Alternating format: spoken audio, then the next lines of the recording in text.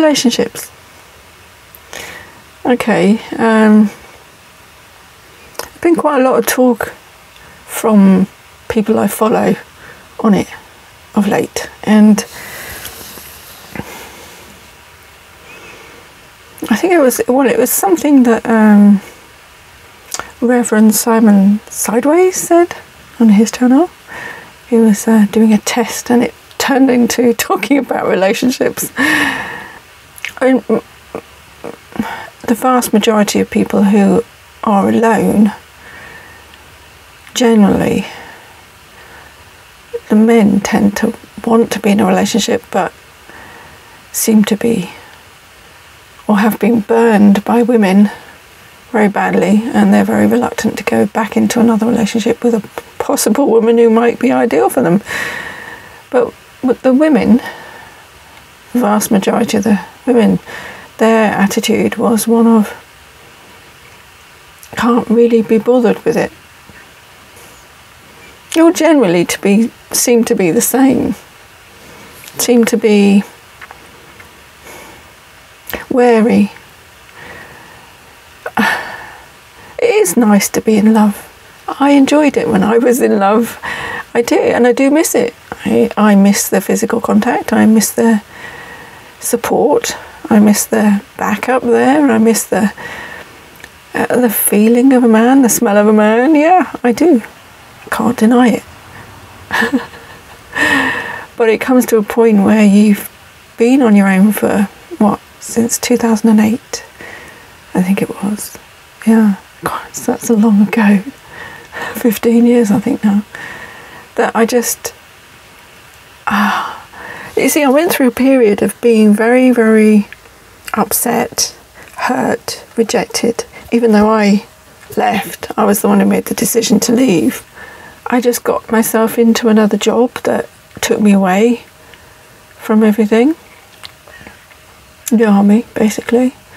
Threw me into an environment where there are millions, thousands, I should say, not millions, hundreds of thousands of men, I guess. Vast majority of them were men. And I didn't feel the need to be in a relationship. The years have gone by, and you turn around and you look at your past life and you think, my goodness, where did it go? You look back over 15 years and it seems, wow, such a long time. But when, from say this point onwards, if you're about 40 years old and you look at your life and you think 15 years away, not, that's like long time. that's a long time. If you're 30 and you think 15 years ahead, that's difficult to imagine. But if you look back 15 years, it just seems like it's a blink of an eye. And you do look back over your past life and you think, I wish I had, or I wish I hadn't. And you look back with a tinge of regret.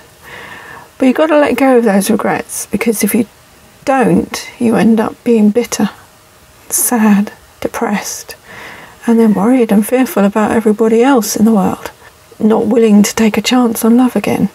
I have been willing to take a chance on love. At the very beginning of working in the army environment, I did get a few offers. I also got a few people who, men, who said to me, uh, I'm not being braggy when I say this because it's a backhanded compliment. said, You're the most attractive coffin dodger I've ever met. I thought, oh my goodness me, is that what it's come to? Scoundrel. Could have slapped him around the face. but it was true for him. I was an old woman, 40. Oh gosh, even that's gone by really quickly. Anyway, my voice has gone funny, so I think I might re record this. I don't know why. I feel as though I'm talking to a lot of people who don't actually listen to me of late, and my voice is disappearing as a result because it's my subconscious mind saying to me, You're not worthy of a voice. I guess that's the nature of my job, basically, isn't it? Maybe that's why I feel a bit. I'll, give you an example. I woke up this morning with this dream in my head of all these deer coming around me Now, I saw a deer the other day at the cabin, and it was beautiful. It just stared at me and my landlady, and it just stood there silently, just peering into the window as though we were the animals in the zoo. and it was beautiful. Such a strange beast. I've never seen one up close and personal like that before. Granted, there was a window between us and he was outside on the grass. And I so wish I'd been able to move out really slowly and get a camera to film it because, you know, if I'd done that, I'd have got 10 million views. but, but I didn't. Yeah, I had a dream about these deer. And they were coming up to me. The baby came up to me first, and then the mother came, and they all just surrounded me and loved me. Not sexually, but just, you know, did their animal stuff, sniffed me, rubbed them, their heads up against my shoulders, and and it just made me feel wanted and and loved. And I I felt totally at one with myself. And when I woke up, I felt this terrible yearning to be with a man. I know. No, it's not awful. It's just natural human instinct, I guess. And that's the first time in a long time I felt that. And I don't know it's anything to do with this new spiritual alignment that we're coming into, this different atmosphere that's been created. Because when you look at Satan's realm it's all about sex and debauchery and pornography and things like that. And and I do uh, recommend that if you are a man or a woman and you are heavily into porn, I would really recommend you don't go down that avenue because what it does is it uses up all your sexual energy. Everything gets drained, and then you feel depleted and you want more and more and more of it. And you crave it and you yearn for it. One way out of it really is to go into yourself. And what does that mean? I often used to wonder what that meant when, when people used to say, go within. I thought, crackpot. but it just means know yourself, know what is the bigger picture know what you really want out of life. If you want to be sexually satisfied and you want a good relationship with somebody, then look for somebody with the qualities that you respect and honour. I mean, there are plenty of lies told about people by people who want something from somebody who know they can't get it, so they have to tell porkies about other people. who this person possibly is attracted to. And that's so unfair. You've got to see through all that bullshit and just make your own assumption. Make your own uh, challenges come to the fore. Live life the way you want to. And as you go through these experiences with a new person, and you think, can I live with this? Is this exciting for now? Or is it going to continue? Obviously, the excitement can't be there all the time because you'd burn yourself out. And as you get older, it doesn't mean to say that those wantings or desires are gone completely because they're not. They're still within me. They're still, I don't think they'll ever go away really. I still yearn. I still want. I still feel like a sexual woman, but I know that my age, um, even my profession puts people off because they think I'm analysing them all the time. Well, that's the nature of the beast, I guess, isn't it? And you've got to decide whether you're courageous enough to be able to take that on board and accept it. And, uh, you know, the whole thing about getting older means that your pool of possibilities is getting smaller. But that's okay for me. I don't mind because then I know that anybody who approaches me they're going to be possibly people who are real and not playing around. what I'm trying to say is that even me, even I, feel low and depressed and anxious and worried and fearful. And I put up barriers, and I also feel sometimes where's the point? Because I have ideas in my head and values that are very strong, and I understand that not everybody wants to have that. But what I'm trying to say is don't feel as though you're alone in this yearning, this being alone thing, because there are hundreds of thousands, possibly millions of people who feel like this. And especially in the Western societies, because we've been encouraged to break down the family unit. We've been encouraged to disobey. We've been encouraged to fight for independence and fight for our identities. We've been coerced into looking at the bad side of somebody instead of looking at the qualities in in each of us that are meant to be sacred. I, I look at men now and I feel sorry for them. I do. I want to apologise for what women have done. You know what's going on in the world now. If you don't, then you really are asleep. And I don't know what I can do to wake you up. But the thing is, society has been encouraged to be like this. And it's right from early 1900s, I guess. When I look at how the asylums were organised, it's as though everybody was mad uh, back then. They thought everybody was mad. You're thinking of a woman who cries an awful lot. Today, she's just a sensitive person, a weeping woman. But in the 1900s, she was put into an asylum because she was considered mad and they couldn't help her. That happened to a lot of people. And uh, in the 60s, people had lobotomies done because they were so excitable and rebellious teenagers. But society at the time thought that they were too overexcited and they needed to be calmed down. And these ECT therapy, they call it therapy, it's not therapy, it's fucking torture. Electroconvulsive therapy, where they fry your brain. I totally disagree with it, and yet it's making a comeback. It is so barbaric. They say it's not now because they give them calming bloody pills or injections before they do it to them so they're not freaking out while they're being electrocuted. And now, if a, a boy or a girl misbehaves in class or runs around screaming and misbehaving in school, what do they do? Stick them on drugs calm them down. All they have to do is stop feeding them the bloody sweets. and boys are not meant to be in classrooms, they're meant to be outside learning things practically with their hands. Girls are okay in the classroom environment, except for the, the, girls who want to be adventurous. But then that's up to the schooling system to decide how these children react to different environments, different stimulants, different ways of learning. But no, it's a lump them all in one little category. You're misbehaving, you can go on drugs. And then as you grow older, you're not taught how to interact with people. You're not taught how to communicate.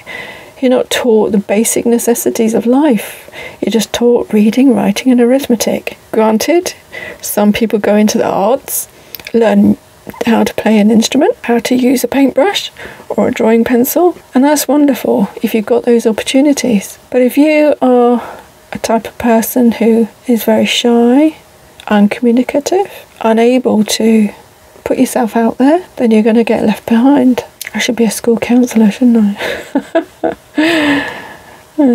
I'd love to do that because I loved helping the soldiers because they were young lads and they often came to me for relationship advice. Oh my goodness me. but if they're unhappy, they're facing all these challenges that are roping them into a system that they don't want to be in. That's my job to help them find the confidence to avoid that, to get out of it, to get the strength in order to say that one little word no. when I look at all the challenges that people had then, all these broken lives, I do feel their pain. I do well up when they tell me these horrific stories. But I also am able to separate myself enough to use the tools that I've been trained to use in order to help them get the better of their life in the way that they want it, not the way I want it give them opportunities, give them ideas, tell them how they can use their skills and knowledge that they have.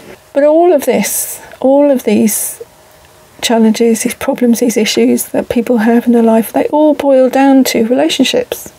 they all boil down to not being loved, and at the most extreme, being abused, being rejected, being abandoned. And it is so, so, so sad. I, I feel myself welling up now. I just feel that pain. And all this to do with relationships, people finding somebody to love. It is hard, especially now. The kids who are grown up now, uh, they're going into a minefield. Now, look at Philip Schofield, for instance. A poor woman believed he was a man who loved her, gave her two children, and built a life together with him. And then it turns out he loves another man. And not only another man, but basically a child. So, how devastated must she be? They were all focusing on him. But what about her? What was she feeling? And this Me Too movement, I just think it pushed men aside such an awful degree that a lot of them committed suicide. If you ever come to contemplating suicide, please think of this, right? Life can get so bad, so terribly awful. It can make you feel so much pain inside that you look around you and you think, why am I here? Where is the point to this? There's no meaning to it all. Nobody wants me. Why should I be bothered? They, they won't care if I'm not here because they don't care while I am here. And so they get to a point where they think, I might as well just not be here. And they figure out ways to end that life. And it is very difficult to end your life. This is why the vast majority of women, the way their brains work, females I'm talking about with estrogen inside of them, their suicidal thoughts are mainly a cry for help, which is why they turn to pills rather than something more drastic like a man usually does. When a man decides, he makes a plan and he normally goes ahead with it and he's going to go ahead with it in a way that makes a final decision. and I won't discuss all the ways that they do it because you'll get ideas. Mm. I don't want to plant ideas in your head because what I'm trying to say is that this life is valuable. All these challenges that you are facing right now, if you are feeling really low, depressed, anxious, fearful, addicted to anything in order to get away from facing up to the challenges that are there, then think of this. It gets bad. Life gets bad. Life gets really shitty. But if you give up, if you give up right now, you'll never know how much better it can get you'll never have that choice anymore. Just think if you stopped making that plan, if you stopped making that just that one thing that took you over to the other side, the other realm, whether you believe it's there or not. I know it's there, but this is a life, this is a body that you have been blessed with in order to learn about life, learn about all these complexities, these emotions, these experiences that you have. And if you get to the point where you think, no, I've had enough, just stop, just pause, just breathe, take a nice deep breath, and think, what if I lived tomorrow? What if, when I woke up in the morning, things changed? What if somebody came into my life and made a difference? what if nobody came into my life and I just felt different? What if instead of ending my life like this, I could use my life for the benefit of somebody else? Have you ever watched that film Pay It Forward? With Jim Caviezel is a man desperate, wanting to die, and somebody comes along and saves him by giving him a roof over his head. And then when he finally leaves, he goes to this bridge and finds this woman trying to end her life. And he pleads with her. Watch it. It's not just a silly romantic film about a boy who paid it forward and taught the world something different. It's about life and what people feel. Yeah, feel. I know men have difficulty with that word. They'd rather think. but yeah, the emotions are there and we can't ignore them because we're human. And I was I was saying to um, well I just made a little comment on there saying Reverend Simon Sideways. that doesn't roll off the tongue, does it? when I said, You're not a robot and you're not a psychopath. You're a human being. I'd rather be a human, I think, and have all this gamut of emotions to experience, good and bad, devastating and bloody blissful, than have no feeling at all. And if you are contemplating ending it because you can't get what you want out of life, then go to somebody like me who can give you the tools to help you through. Don't all come to me because I can't cope with it all, but there's only one of me. Your life is precious. Whether you're sharing it with somebody or not, whether you have somebody in your life who you hate or you love and you fear losing, whether you're squashing their creativity, their abilities, because you're fearful, jealous, unkind, bullying. If you're doing all of those things, it's because you're frightened, because you're not confident in your own self. And you've got to stop it. Because you'll never get the best out of anybody if you do that. And jealousy is the biggest killer. Any kind of sharing, caring attitude goes out the window as soon as that comes in the door. But yeah, I feel low too. I'm a human being. I'm not a robot. I'm not a psychopath. Although some people think I was. no, I feel too much to perhaps too much of a degree. But then I revel in the fact that I have got these feminine qualities about me that I like and I enjoy. I also hate as well because I can't control them sometimes. But I'd rather be me, knowing what I know and having all the experiences that I've had in my life and the relationships I've had in my life. And I look forward to having another relationship if it comes along because I haven't shut it off completely. I just do feel tired sometimes when I think, no, I can't be bothered to play games anymore.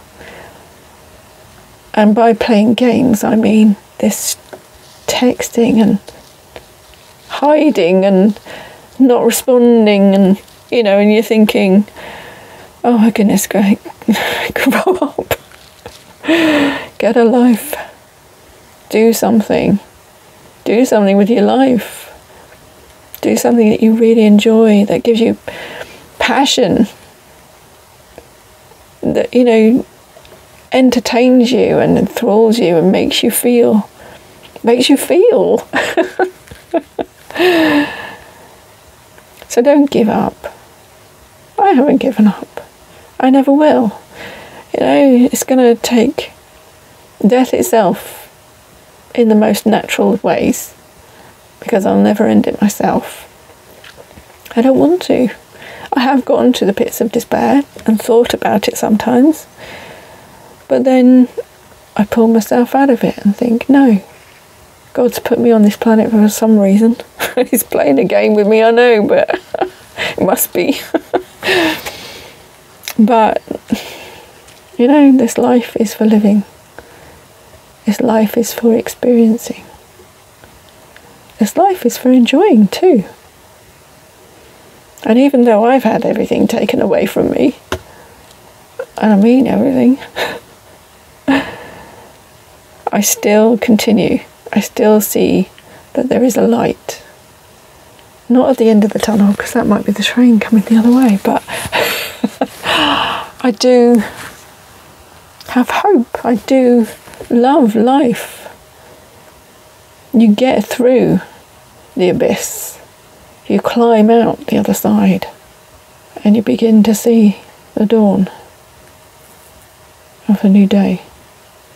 So if you're lonely, if you're yearning, if you feel sad, if you're trapped in this cycle of depression, if you're anxious, you've got that knotty, horrible feeling in your side of you every time you think, shall I go and do this? Oh, no, better not. Or if you're fearful of even approaching anybody, all I can say is, you've lived this long if you take a chance, where's the worry in that? Where's the harm in it? There's nothing to be frightened of except yourself. I know. It is frightening.